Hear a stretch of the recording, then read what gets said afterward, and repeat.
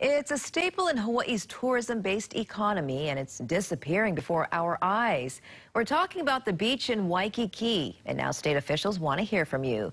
Dallis Ontiveros joins us now live with a look at just how bad conditions are getting. Dallis, a real eye-opener for a lot of people who haven't been there in a while.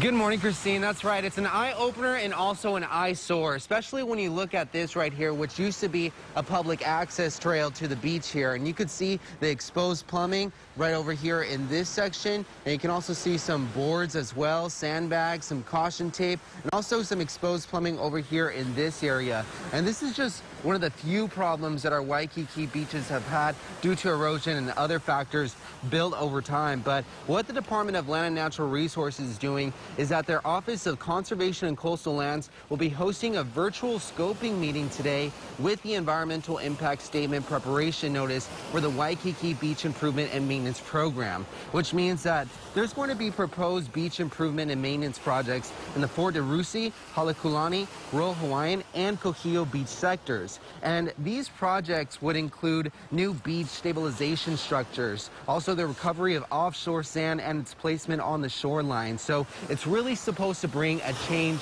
and uh, just make things a whole lot safer for the years to come. You know, one thing that's been talked about when it comes to our Department of Land and Natural Resources is that our Waikiki beaches could look very different by the end of this century. It doesn't seem too long away, but it really does have our grandchildren, our great grandchildren in mind and what kind of Hawaii they will see in the next 100 years if they're able to live that long. But we're going to be showing you more details of what our Waikiki beaches have been through. But you can already head over to our website at KHON2.com where you can learn more about that virtual meeting that's happening today at 2 p.m. Until then, reporting from the Waikiki area, Dallis Navarros, KHON2 News, working for Hawaii. Thank you, Dallis.